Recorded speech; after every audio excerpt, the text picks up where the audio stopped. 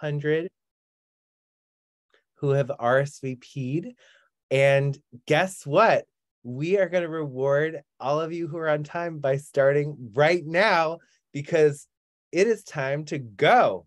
Um, I'm Billy Wimsatt. I'm the executive director of Movement Voter Project and Movement Voter PAC. And I'm so happy to welcome you here today to defy the odds in 2022, which means win the midterms, supercharge the movement. Say it with me defy the odds. We're going to defy the odds.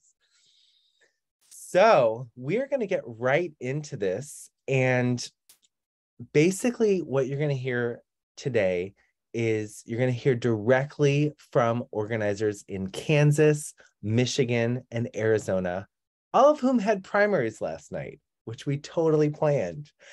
And then we're going to talk more in depth than we ever have before about what all of us can do. Because that's the number one pe- thing people say is what can i do? And we are going to talk about that in more depth than we ever have. We are 97 days out from the election 47 days out from the start of early vote in pennsylvania which is when the first early voting starts and so if you want to move money in this election cycle to make a difference in the 2022 cycle, now is the time to do it. Think about everything you want to do and make a plan while you're on this call, while you're listening to us. Your job is to make a plan to move as much money and organize as many people as you can, because this is an all hands on deck moment for our country, for our democracy, and for our world. And history will judge us by what we did or didn't do in these next couple months, which are going to determine the fate of our country and maybe all of human civilization and everyone who comes after us. So, no pressure.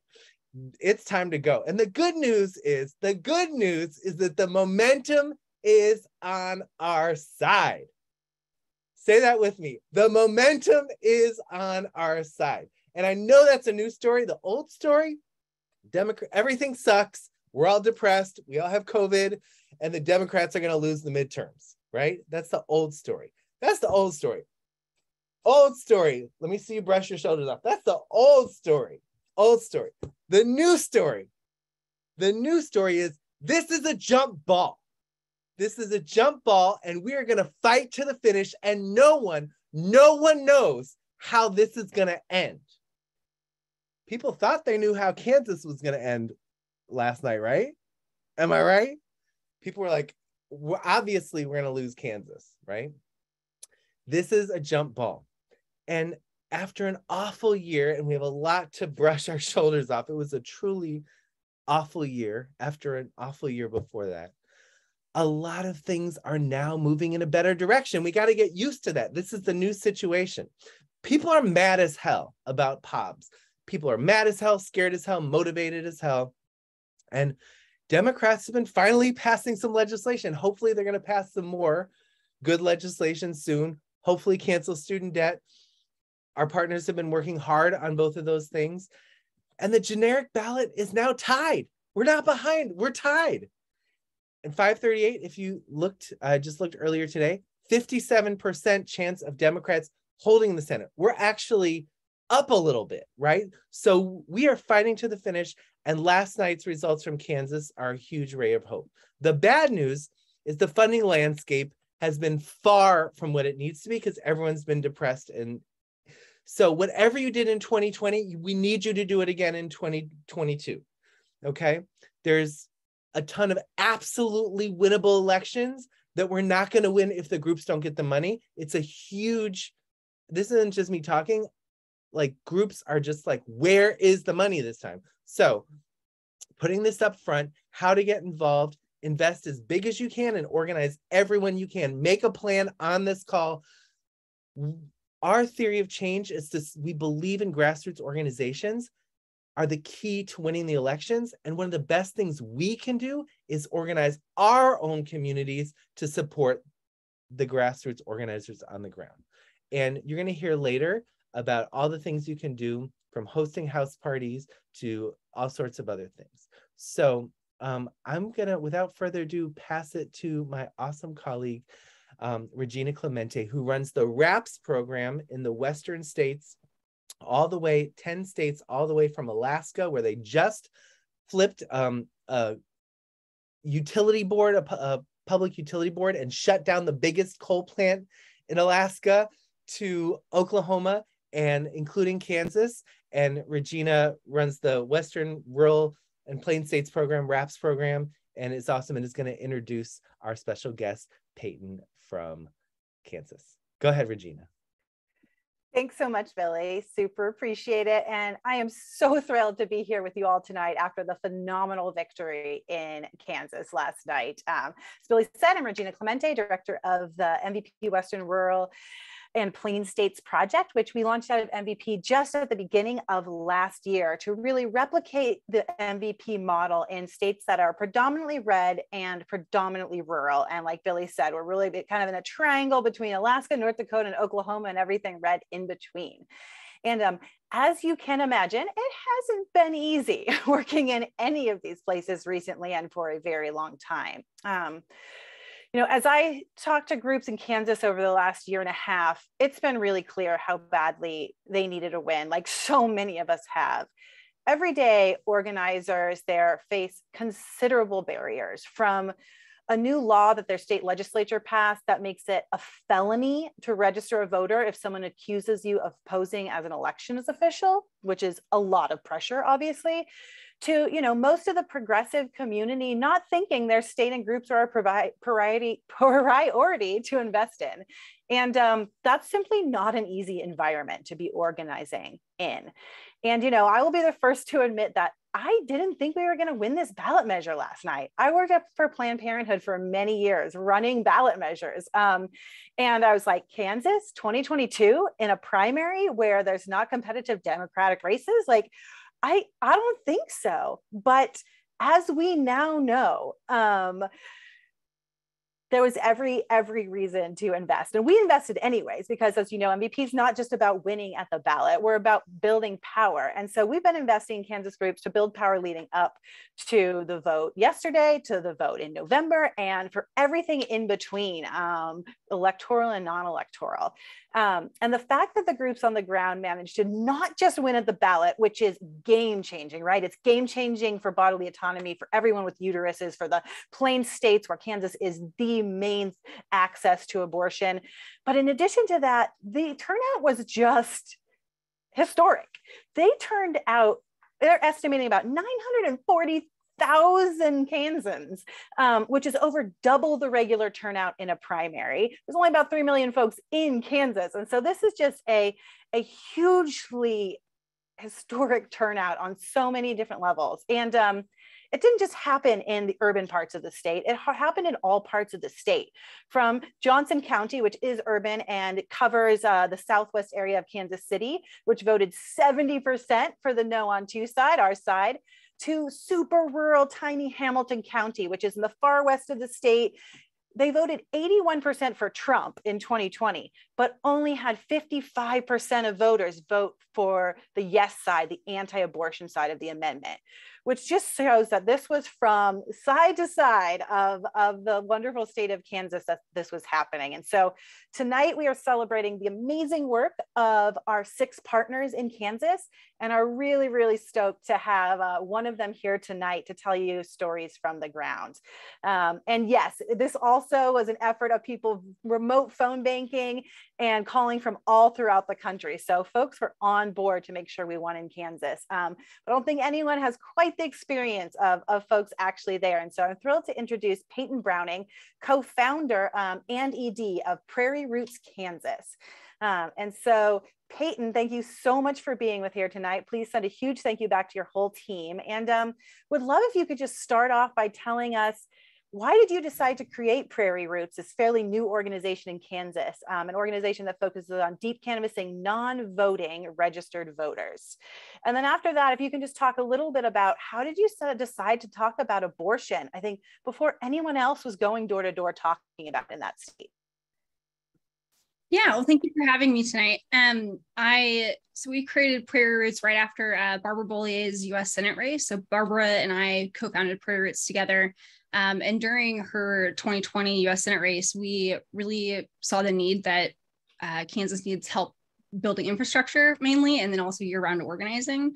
Um, and then as we were talking to people across the state that year, um, realizing that so many people want to see results in Kansas, but aren't voting or are you know maybe voting uh, differently than their values and things like that so we really wanted to focus on deep canvassing and really getting to the root of uh, you know their why for the way that they're voting or you know whether they are voting or not and um, kind of focus really on deep diving into uh, longer conversations with them to um, walk them through a political process uh, and then for what made us start talking about abortion uh, at the doors first so we were the first group in Kansas to start conversations about the uh, abortion ban amendment. Um, and we started back in fall 2021. Um, and we just know that, you know, with year round organizing, there was kind of no better time to start than now. And, um, and we also know that with, especially with non-voters, it's, uh, you know, it takes a lot more time and energy and money to turn out those non-voters, to uh, turn them into frequent voters. And so we knew that we wanted to have multiple touches and conversations with them before uh, actually like running a GOTV program. So we uh, started really, really early and um, it's been really exciting. And uh, we had, uh, you know, a lot of people in our universe, which our universe is uh, Democrats and unaffiliateds who are registered to vote, but have not voted in the past 10 years. Um, and so that equals out to so pre Roe being overturned, our universe was 250,000 people in the state of Kansas. Uh, with all the new registers that happened uh, when Roe was overturned, now that our universe is about 430,000. Um, so that's a lot of people that we could be turning out for the next elections. Wow, that is huge. And can you tell us a little bit, just give us a little window into what what that was like having those conversations? What are the, some of the things you learned from those conversations? What were folks saying? Yeah, it was uh, very shocking even from the beginning. Um, really, as soon as we started talking about the amendment, um, you know, these non-voters, they aren't in anyone else's universe um, for campaigns and organizations and uh, whatnot. And so we were really their first political conversation about an upcoming election. And um, you know, they were kind of shocked by that. Like they're not getting any phone calls, text messages, door knocks, anything else, mailers. Um, you know, they're getting most of their politics and news from either Facebook or TV ads, um, which can be skewed a lot of the times too. Um, so it was really just shocking to see the results immediately. Um, pretty much as soon as we started uh, our program on the abortion amendment, um, consistently about 95, 97% of our uh, voters that we've talked to or non-voters that we had talked to uh, had committed for, to vote for the first time uh, and vote no on this amendment. So it was really from from the get-go, you know, people were uh, shocked by even finding out that this was coming up on the ballot. You know, it was very low educated, uh, low education kind of. Nobody knew this was coming up. Um, especially kind of just the voters in Kansas. And so uh, having those first conversations was really exciting and hearing people you know really be totally uh, surprised and shocked and devastated that you know the Kansas legislature would put this on the ballot as well. Got it. Got it. Thank you. And, and thank you for, for being out talking to those non-voters and turning them into voters. I know we'll learn a lot more about who actually voted and in a few weeks to a month or so once that data comes back. Um, but I think just a reminder to everyone that this is one of the main reasons MVP started, right? We, we sometimes feel in our worlds that everyone is super saturated with information, but the reality is infrequent or non-voters are getting next to no contact. And folks like Peyton and her team and their volunteers, maybe the first person that's come to them ever in years. And so just that alone, focusing on these non and low propensity voters has, can have such a huge impact. Um, Peyton, can you tell us just a little bit about what's next? How do you build off of this win? Yeah. Um, so we ha- Kansas had a thousand thirty eight percent uh, increase in voter registration since Roe was overturned, and I ran the crosstabs and data on that, and it's mostly kind of people under forty registering as unaffiliated. Um, and I think that it's really interesting to kind of think about that group of new voters um, in terms of like Trump ran twice and it didn't turn them out to vote against him or for him. Um, but Roe being overturned was their moment to start getting involved and having their voice be heard. And so, uh, right, you know, starting today and tomorrow is uh, turning around and trying to turn them into frequent voters and having those conversations and making the connection for them about, you know, local races, state legislative races, and so on and so forth, um, and why they should be a frequent voter. And uh, for us, we are focusing on flipping the state legislature. Uh, with our research that we've done, uh, like I said, our universe now is 430,000 uh, you know, people that are registered as Democrats or affiliated but hadn't voted until uh, last night. And um, so we are, you know, that's more than enough people. Like we've done the research for the votes are there in each, in each and every county, each and every district, um, and so on and so forth to flip the legislature. And we could do that by 2026. Um, currently, Kansas has uh, super super majority conservative super majorities in both the state house and state senate and so um, you know while we won last night uh, we know what kind of bills will be put forth into the next legislative session and even the legislative session after that as well um, so we need to really flip the state legislature as well to prevent this from happening in the future as well awesome. Well thank you so much. As y'all can tell like there is so much research, there is so much strategy behind what Peyton and Prairie Roots are doing, which is true of so many of our groups. They know what needs to be done. They're doing the tremendously hard work of recruiting more and more folks to be trained up on this work and get out there and do it. And so we just need to be resourcing them as much as possible. And so huge thanks to Peyton. Um, and you guys will get follow-up information on how that you can contribute to Prairie Roots. Um, you can always contact me. I'm Regina at movement.vote. And um, I'm just so honored to get to work with organizers like this in red states that get so much less attention than others, but who are doing some of the most phenomenal work in the hardest conditions. And um, yeah, just a million thanks to all of them. And I hope that everyone gets some time to breathe and celebrate in Kansas. And I am now uh, going to be passing it over to my fabulous colleague, Cindy Matthews, who's going to talk about uh, more about overviews of what's going on and then some Michigan and Arizona information. So thank you all. Thanks, Regina and Peyton. Um, so great to start off our call with good news that really outlines the possibilities ahead of us, especially given the authoritarianism we're facing right now. So we have a large number of people who believe the 2020 election was stolen and a Republican Party that's fueling that belief. More than 100 candidates running for office uh, run, are people who believe that the 2020 election was stolen, and we have a Republican Party that's fueling that belief. Um, just yesterday in Michigan and Arizona, the two states we're going to talk about today, they elected big lie candidates in Republican primaries. So what happens this November could have a huge impact on what happens in November 2024 and whether or not election results are overturned. So one of the biggest defenses we have against this growing threat is the long-term organizing happening in states right now. The work that you all have helped us fund and grow over the last six years. So we know long-term organizing works the movements that elected Senators Warnock and Ossoff in Georgia, that elected two Democratic senators in Arizona for the first time in over 60 years, these did not happen in the span of one to two years or only in election years. They were the result of year-round organizing in communities on the issues that matter to them. So that's what we're here to talk about today, the issues that matter to people, why the midterms matter to those, and what MVP's partner groups are doing to hold and advance the line.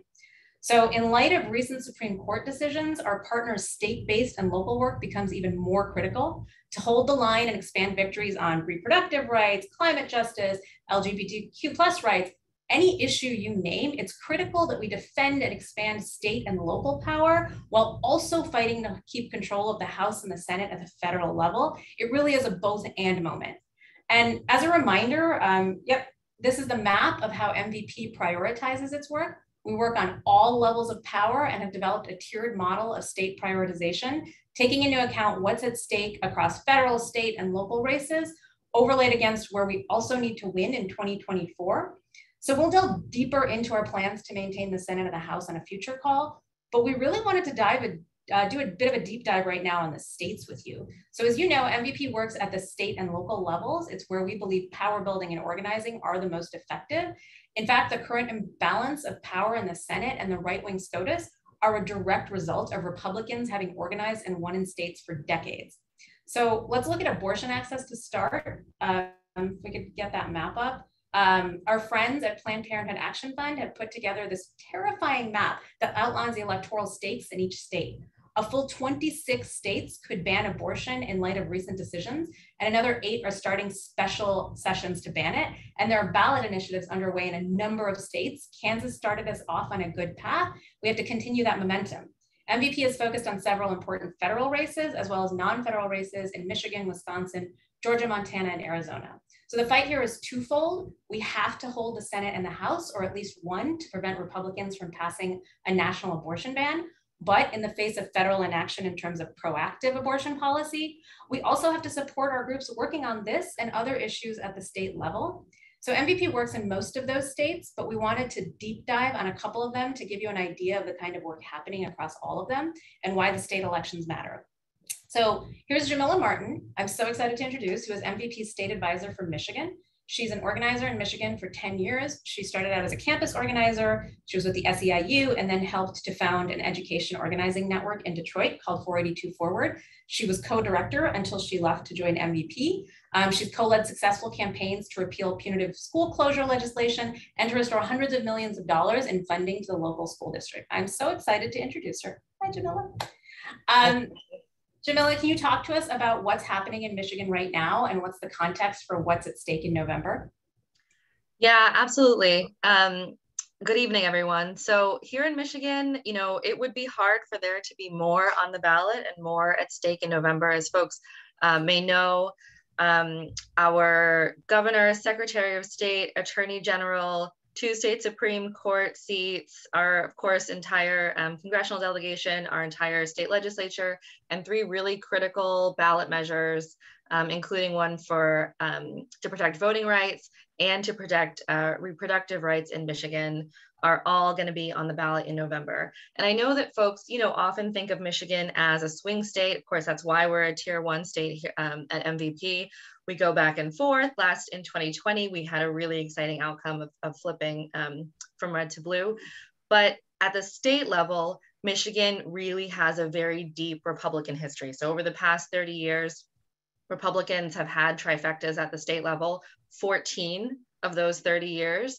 Democrats have never had a trifecta and in fact have never um, even controlled more than one chamber, one, one legislative chamber. So this really is a challenge for us. And, and as Cindy said, last night Republicans elected um, across the board election deniers. So everything is at stake um, this year. And Jamila, what's the role of the MVP groups that you work with? What are they working on right now in Michigan? Yeah, so right now, so our primary was yesterday. so right now, um, folks are probably exhausted, um, but they're starting to debrief what happened yesterday they're moving on from whatever their primary targets were. So a lot of our grantees do engage in primaries. It's important that the folks we elect, um, even from our safer seats, of course, represent our values. And so they do engage in primaries, both the state and federal level. Um, they're moving on to now the kind of more purple areas in the state. They're starting to ramp up. And in particular, I mean, I think this is something that's really similar with what we heard, what we just heard from Kansas. Our grantees are honing the conversation that they're having with less likely voters, with our friends and family in our communities who are often disillusioned by the election process. You know, as maybe some of you on this call, you know, felt like you gave everything you had in 2020. Maybe you even voted for somebody you weren't that excited about voting for, but you felt like, you know, you were um, minimizing harm, you were doing what was right, you were maybe even sometimes holding your nose um, or, or giving more money than you wanted to. And then not everything that you thought was going to happen maybe happened. Now, obviously, there's been new federal news and, and there's an excitement there. Um, but I will say at the state level, you know, um, even though we did, um, uh, you know, even though uh, we voted Democrat at the federal level here in Michigan, um, we still had a Republican controlled Senate and House at the state level. And so it was very difficult for our governor, on top of pandemic, to move um, to move her agenda and the people's agenda forward. And folks felt that, you know, in the neighborhoods, folks felt the disillusionment um, there. And so our groups, our partners, are having these very nuanced, serious conversations with people about why to show up um, in November and, and what their path to power is um, through the elections. Relating to that, and also going back to Kansas as well, talking about motivation, um, with in relation to the Dobbs decision, recent polling has found that it is an incredibly motivating issue across mobilization, mobilization and persuasion targets. Can you tell us a little bit about what's at stake in Michigan on this issue, what the groups are doing, um, and how they're using it to mobilize constituencies? Yeah, and this is really critical. Um, so Michigan is um, a state that allows ballot initiatives and citizen initiated ballot initiatives. So uh, a, a number of leaders here in Michigan had the foresight to get together a constitutional amendment ballot initiative that would protect reproductive rights here in Michigan. Uh, Michigan is a trigger state, so we have a 1931 law banning abortion. Our um, Democratic governor and Democratic attorney general have taken a number of steps to prevent this law from being implemented right now. It really speaks to the, the importance of fighting at every level, fighting on every election. Um, so both the, the governor and the attorney general have gone to court, um, or, or, sorry, the governor has, has, taken this to court as has Planned Parenthood. They've, the state Supreme Court, um, we flipped that to a Democratic majority by one seat in 2020. And so again, that's a really critical kind of piece of our infrastructure to protect um, the right to choose here in Michigan. Um, our attorney general has said that she will not enforce the ban and many of our local county prosecutors, some of whom our partners worked to elect, have also said that they will not enforce the ban. Some of our more conservative county prosecutors, however, have said that they will um, that they will enforce the ban. And so this constitutional amendment um, is incredibly important. So organizers collected the most signatures in the history of signature collection here in Michigan. They submitted those just a couple of weeks ago, and they're in process now to be confirmed um, by the Board of Canvassers. And we anticipate that it will be on the ballot in November. This is going to be a really, really important fight, very similar to what just happened in Kansas. Um, so it's to be a really important fight, not just for um, you know protecting reproductive freedom in Michigan, but also for organizers on the ground mm-hmm. to help close the distance between the ballot and people's lived experiences. Um, on to another uh, recent SCOTUS decision that also has impacts on Michigan. Uh, recently, there was a ruling on EPA, the EPA's ability to regulate carbon emissions that also impacts the Clean Air and Water Act. And to your point, that will also make state attorney general seats even more critical. Um, can you talk about what's at stake in November for climate related issues in Michigan? Yeah, I mean, Michigan, of course, when we talk about climate change, there's the work of decarbonizing. There's also the work um, of preparing and mitigating the impact of climate change that, that we know is coming. And Michigan has a unique um, role there as a Great Lakes state um, in protecting such a, a, critical body of fresh water. Um, and so folks on this call um, who know me know that I'm very passionate about uh, protecting our mm. fresh water. Michigan currently, unfortunately, allows private companies to pump that water essentially for free and to sell it off for profit. Um, and so there are actually a number of groups here in Michigan who are focused really at that nexus of water and climate change. One really, really exciting thing that happened in this fight last night is that Jenn Hill, who is a climate champion and a clean water champion, was elected in a really competitive Democratic primary where her uh, opponent had been endorsed by and kind of given the blessing, well, endorsed by and given the blessing of um, of a Democrat who's not such a champion, you know. And so this is, I mean, that is the level of kind of savviness that our groups, our partners have to have, so that you know, when we get majorities, which we will, we have the right folks in place to actually move the needle for our communities. So I'm super excited about what that primary means for us and hopefully, you know, once we get past November, the kind of climate champions who we will have in the legislature. Um, and we have just a couple of minutes, but I would love for you to share a recent story, inspiring story from one of the Michigan grantee partners.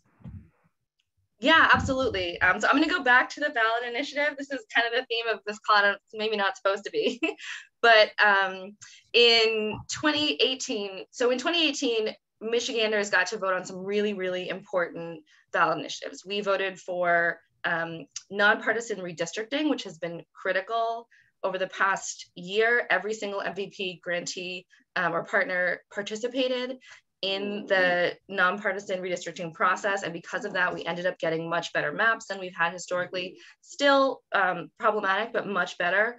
Um, we also passed a massive voting rights expansion that was critical during the pandemic. It allowed folks to vote absentee for no reason from home. It allowed us to have drop boxes, to have early voting and all kinds of voting rights that we did not have before in Michigan and that we didn't know, of course, would be so important in a pandemic. Um, but there were two ballot initiatives that we thought we were going to be able to vote on that we were not. And that was to increase the minimum wage um, and to require employers of a certain size to offer um, paid sick time to all of their employees. And the reason that we were not allowed to vote on those ballot measures is that even though organizers collected the requisite number of signatures, the Republican led legislature used a loophole to adopt directly both of those measures, wait until after the election, and then gut them during lame duck. And what that did not is not only you know destroy those very important agenda items, but it really took off the table for any progressive measure the ability to move forward through a ballot initiative. Essentially, anybody anybody who wanted to do anything by ballot initiative in Michigan now has to be making constitutional changes because you know, that's not kind of um, susceptible to this particular loophole. And that's just not how, you know, you don't want everything to be in the Constitution. So anyhow, since 2018, Mothering Justice and Restaurant Opportunity Center of Michigan, who are both um, MVP partners, have been fighting this um, this really atrocious kind of undermining of democracy. And they've been in court, they've been working with the Attorney General, they've been pressing any way that they can. And two weeks ago, they got their first um, positive decision by a court. And so it's been appealed, of course, we know that, um, but it is going to a Democratic majority state Supreme Court. Um, and so we are really excited about that result. And it just really speaks to the importance of our, of our partners year-round organizing um, and fighting at every level. Thank you so much, Jamila. And when you said earlier, like, you don't know if it's this is what we're supposed to be talking about. This is what we're supposed to be talking about, right? The issues that are actually impacting their lives. So thank you so much for sharing that story. Um, and for folks on the call, please make sure you're signed up for our newsletters and everything, and we will make sure that you continue to get updates on all this kind of work. Um, and now to switch our focus to another state, Arizona, where there was also a primary yesterday and where there's important state work, uh, but also a Senate seat that we need to hold. I'm so excited to introduce Montse Arredondo from Arizona Wins, which is a coalition organization consisting of labor, civic engagement, community organizing, reproductive rights, environmental, and other progressive organizations. Um, over the last 10 years, Arizona Wins has been instrumental in shifting Arizona to become a more progressive state. Um, so before we get into what's happening in Arizona right now, I actually want folks to hear Montse's story in her own words, because in some ways it is really representative of a generation of organizers in Arizona and follows the track of change that's been happening there for a decade. Um, so Montse, hi, and thank you for joining us. Can you share that story with us? Yeah, hi. Thank you so much for having me. Um, just want to give a shout out really quick to MVP for all of their support. I'm so glad that I was on this call to hear about Kansas um, firsthand, you know, and not just read about it. And um, wow, Jamila, the, the your Michigan points just hit every beat of what's been happening in Arizona. And that goes um, back to my start. You know, I started in this work in 2009, 2010, came to this work because my mom was undocumented. She's still undocumented to this day and thinking of going to college and finding out that many of my close friends were also undocumented, many of which were finding out for the very first time. And we went into the immigrant immigrant rights work and joined a lot of folks that had been fighting Arpaio, Sheriff Arpaio in the state for a long time, and then got hit with this nasty show me your papers bill, which was SB 1070, that not only targeted um, undocumented people, but all people of color, anybody that looked like they could potentially not be US citizens. And we all know that means that people that didn't don't look white. Um, and since then, um, in in the work, uh, I've been fortunate enough to be a part of a, a team here, a community here that um, has been really scrappy together until we got to a place where we in 2016 passed the minimum wage ballot measure with sick time and then in 2020 um, um, showed out by winning the presidential election and the U- US Senate election. Um, and that those wins did not come or haven't come easy and are still huge wins that are every day a battle to protect and to keep our battleground status and to keep our our purple status. And uh, we can't let up. We can't let up. So that actually leads me to my next question. Can you tell us about what's happening in arizona right now? Give us the latest political state of play and the context of what's at stake for november yeah, yeah. We just had our primary elections just yesterday. Some of those results are still coming in, but I can tell you right now that pretty much every Trump endorsed candidate um, has made it through and are going to be who we are up against. And um, that says a lot. I know everybody on this call knows that, that, that what we're not just talking about Repub- a Republican or Republicans. We're talking about a certain kind of Republican, and that is the Trump Republican, the MAGA Republican. And in Arizona, we know that that is the Sheriff Arpaio type of Republican that is eager to see um, people that look like me, um, folks like my mom out of the state, and um, to be known again as that deep red Arizona. And um, on our on our democratic side you know we we saw some great um, turnout for the governor's race. Uh, like like michigan all of our statewide races are are up right now.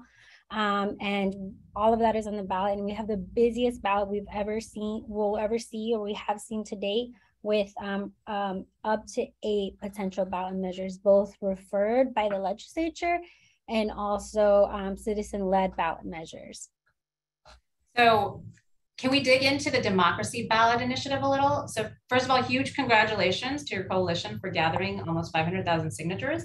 Yeah. Um, if you don't mind, yeah. Uh, please share with folks the impacts it would have, the opposition you're facing, including the lawsuit that's been filed by a right-wing organization, and what you think it's going to take to win.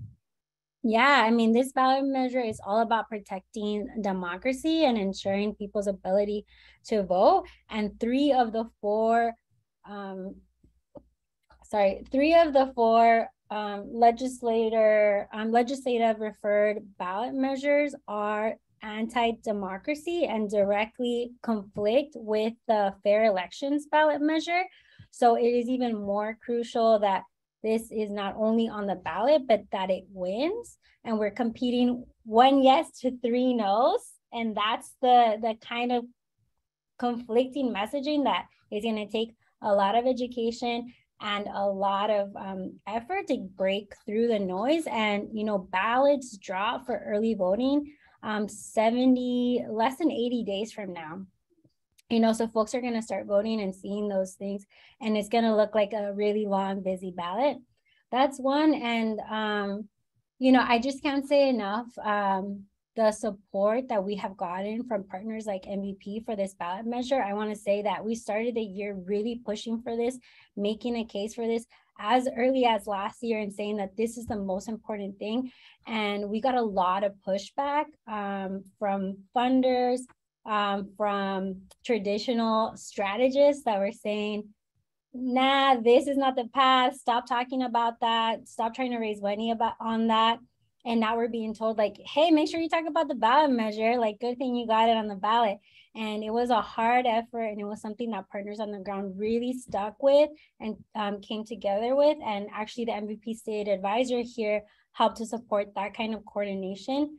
Um, and and we broke through and and it wasn't just a movement effort. I was just talking to folks about how the party really mobilized and got almost 100,000 of those close to 500,000 signatures through their precinct committee um, um, web, you know, their volunteers. Um, and it just goes goes to show like the the party and their and just everyone in Arizona's knowledge and and our local um smarts of the, the our voting our voting being in under attack and how that affects every other issue that we're facing um like this abortion issue that is also a big deal here in Arizona.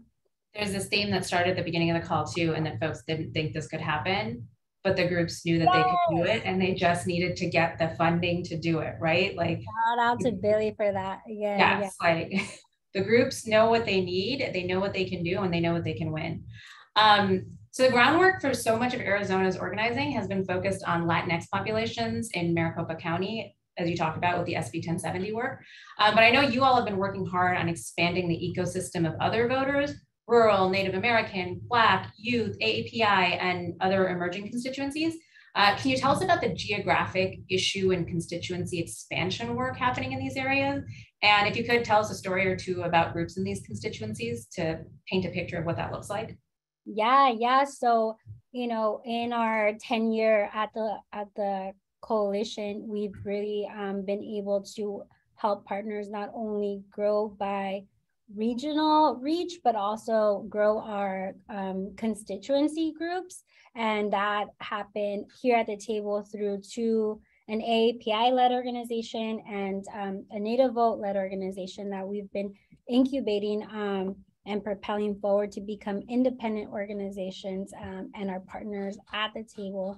One and two, um, supporting um, our our partner groups to not just be engaged or get resources during election cycles, but also be invested in so that they continue to do that leadership pipeline work and continue to get um, investment for their other the other pieces of of organizing that has to happen, you know, to ensure that folks are are engaged. And I saw something earlier on the chat about, you know, are are we sure that if abortion isn't on the ballot, people are going to come out.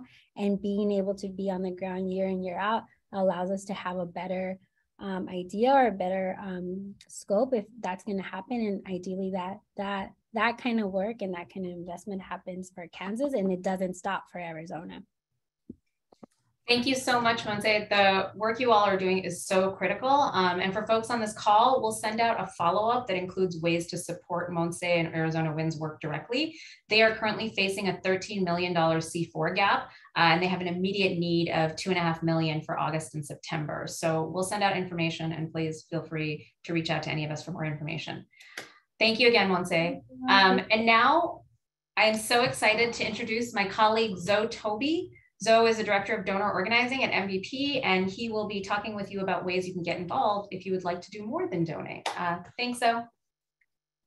Hi, everyone. My name is Zoe. I'm honored to lead our donor organizing program. And uh, just waiting for the slides to come up. Okay, so um, the mission that uh, we are going for with the donor organizing program at MVP is to build a movement of donors organizing their communities to fund the grassroots organizing that wins elections and creates lasting social transformation. That's what we're up to. I know it sounds a bit lofty, but uh, really it's what we all need to do together if we want to win this election and if we want to create the long-term uh, power building that's going to lead to the world that we want to see. So uh, I am thrilled to actually introduce one of our superstar uh, volunteer donor organizers, Margaret Birch, who uh, is going to be sharing a bit of her story of how she came to be involved with MVP. And our hope is that it inspires you to get involved too. So uh, Margaret, it's so good to be with you. Uh, let's let's get you on spotlight here, get you on video.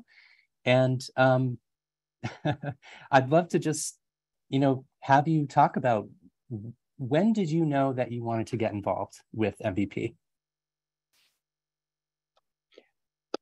All right, thank you, Zoe. And I'll keep going. I'm not sure if I'm, here we go. Start my video, good. Ah, there we go. We'll see. All right. There we go.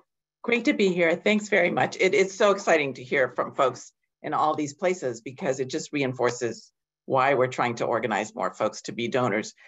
I, I've been doing election work my whole life. I started in middle school just a few years ago, and I feel like I can remember when we were stuffing envelopes in the McCarthy campaign when I was going door to door in high school. And so I've done this all my life. But fast forward, the pandemic happened, the 2020 election happened, and we realized that no, um, Georgia was going to have this runoff and this exciting opportunity to elect two Democratic senators. And because of the pandemic, we were like, well, we aren't going to go to Georgia. And folks in Georgia said, don't come to Georgia. There's too many people that want to come to Georgia.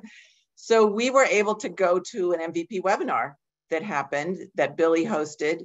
And we got to hear Nsé Ufot from the New Georgia Fund. We got to hear LaTosha Brown and Cliff Albright from Black Voters Matter. And my husband and I both looked at each other and said, oh my gosh, this is what we need to be doing. We need to be sending money. We don't need to be going and trying to knock on doors because there's people already there who know their communities and who are doing this organizing work. Um, and they're organizing for the long term. And if we just parachute in and knock on a few doors, we're not going to make anywhere near the impact that they can. So that's when we realized, let's raise some money for MVP. Um, we were so excited. And we talked to some friends and said, Are you in? And at that time, most of you remember everybody was working on Georgia. So everybody was like, Yes, what can we do? And we were able to put together a great team. We got some help designing a Zoom event, and we got some co hosts and we got some donors to make some big donations. So we did a one hour Zoom event. We got 70 people because so many co hosts had invited their friends and their networks and we raised $30,000 in one event. And it was so exciting because we knew that it was going to the folks. And then we won Georgia um, and had like two hours to celebrate. but that's when I realized that this is what it makes sense to do. And I still like to do some phone banking because I love talking to voters, but I'm much more excited about raising money at this point, and especially for MVP. Yeah, I wanted to ask you. I, I know you still do some phone banking, so it's like it's really not you know either or, but um, what what have what's been most exciting and and um, meaningful about uh, engaging in this way as a as a donor organizer and that kind of engagement, which I know is so different than you know calling voters in states you don't live in. Uh, how's that been for you? Well, first of all, it's been fun, and second of all, I feel like what I'm doing is really about racial justice and social justice. It's so much more than elections. Um, and I feel like, yes, we need to win. We need to win the House and the Senate. But especially when I hear the kinds of reports that we're getting from Kansas tonight, from Michigan, from Arizona, what I realize is we're talking, and LaTosha Brown talks about transforming the political landscape.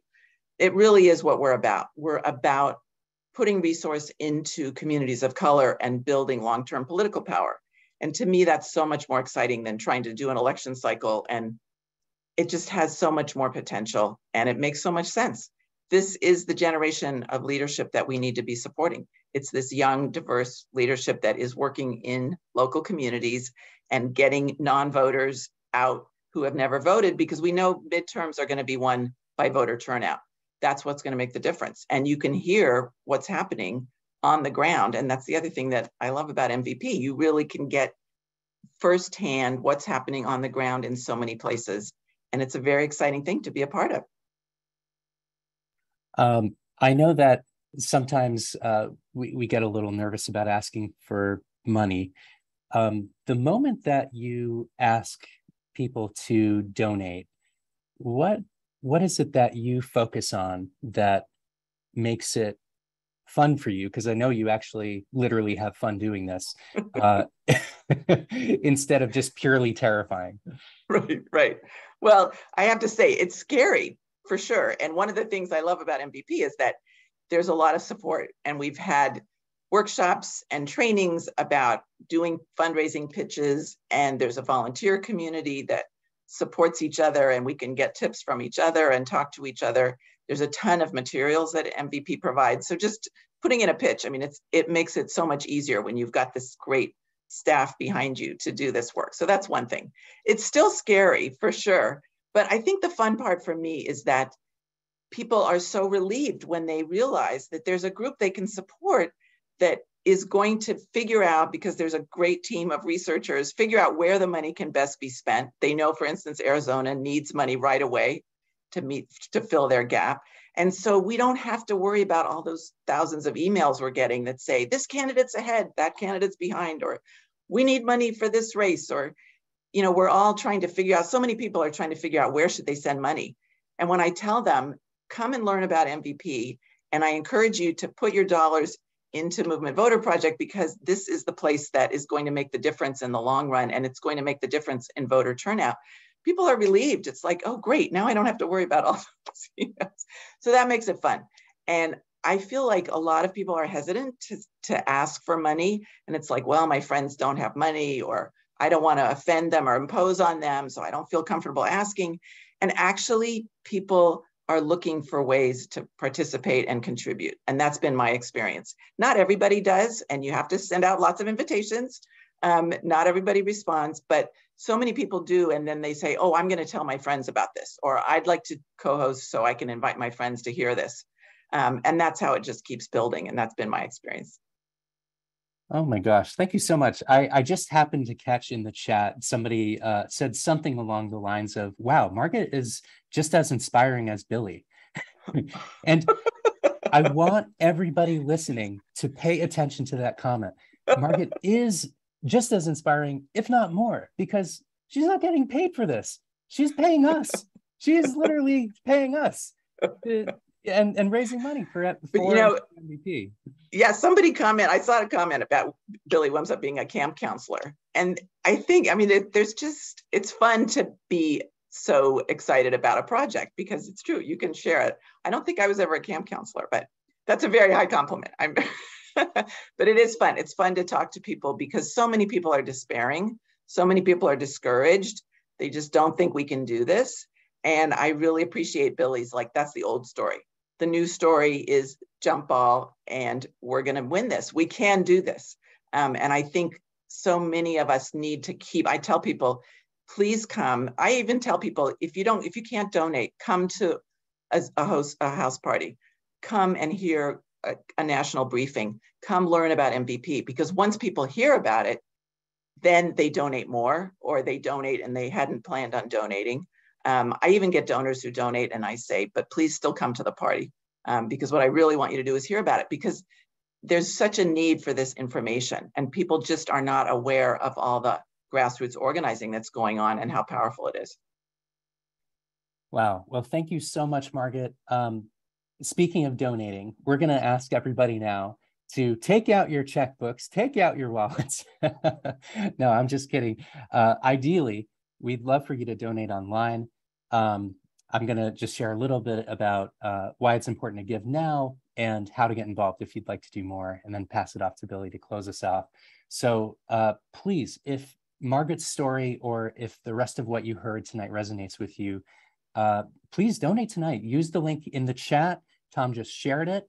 And if you've already given, I want you to share in the chat right now. Just take a moment and type it up what motivates you to give? Who and what are you doing this for? What's important to you about this? So share in the chat what motivates you to give.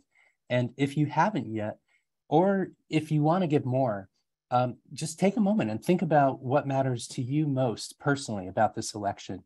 Think about the, the stakes that are the most urgent to you, the, the issues that you care about most, the, the people, the, uh, the issues that you, that you most want to uh, make sure that these grassroots groups have the funding to mobilize around. And just use the link in the chat to donate. Give all that you can. Give what's authentic uh, whether that would be uh, you know five dollars or five thousand or fifty thousand.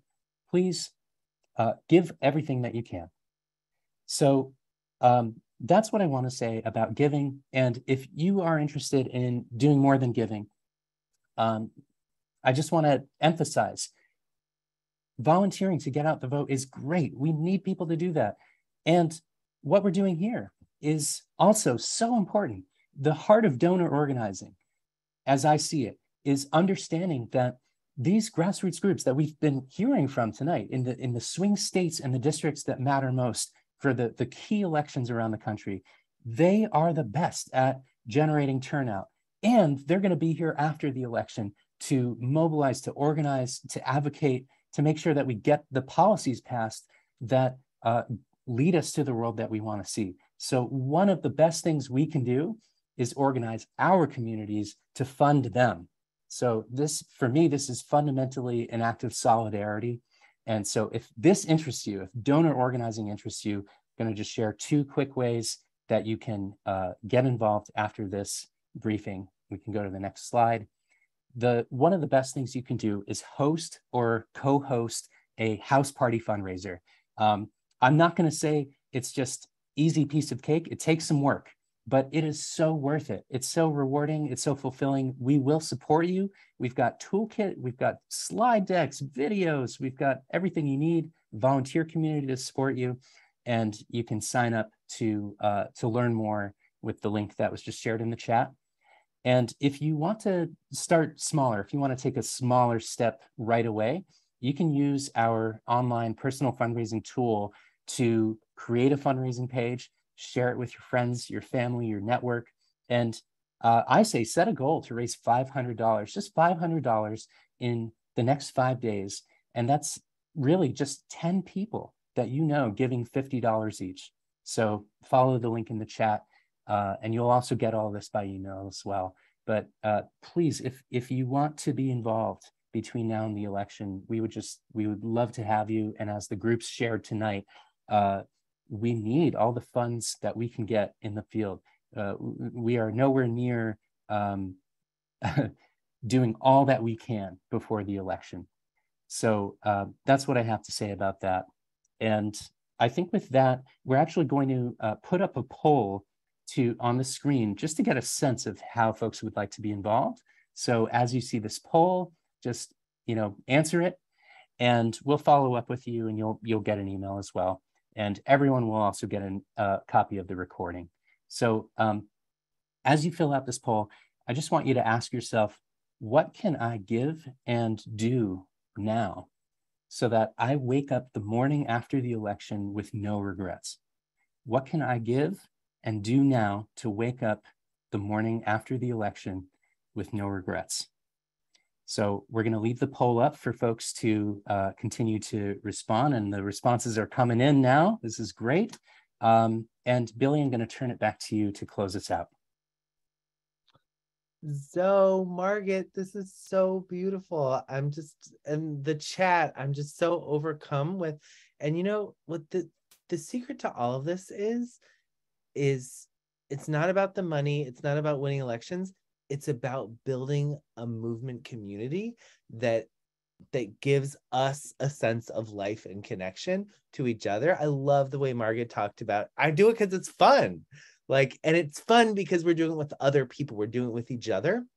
So I just want to ask everyone to just imagine yourself as part of a beloved community all over the country that includes Peyton and Regina and Montse and Jamila and Cindy and me and Margaret and Zoe and all the people who've written in the chat. We are an incredible community that contains millions of people.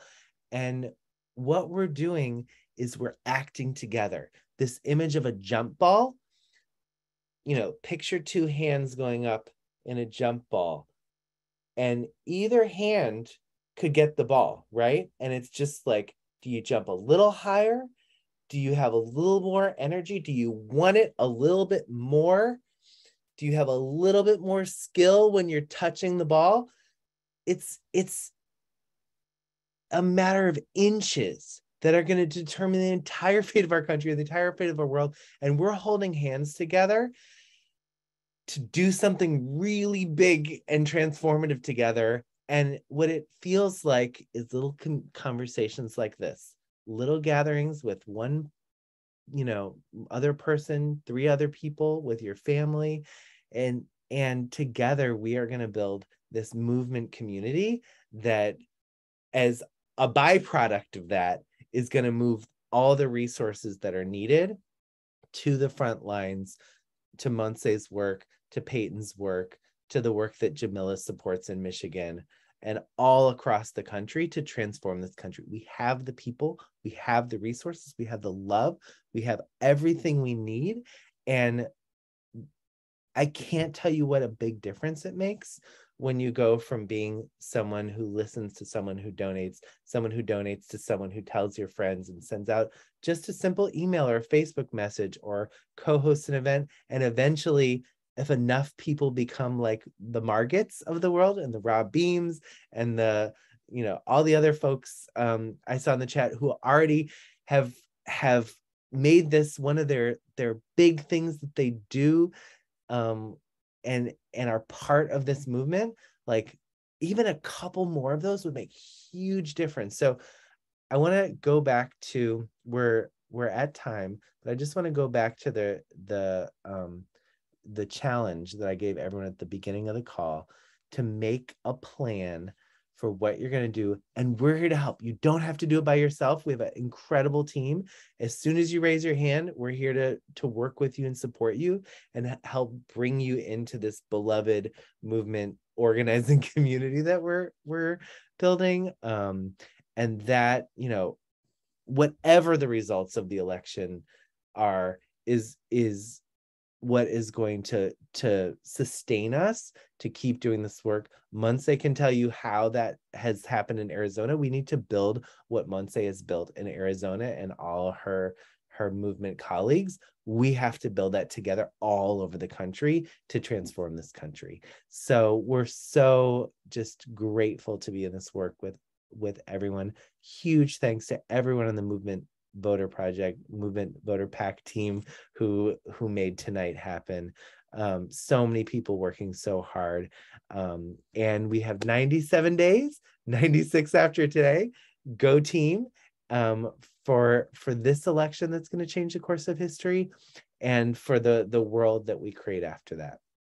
Thank you with so much gratitude to everyone and um, go team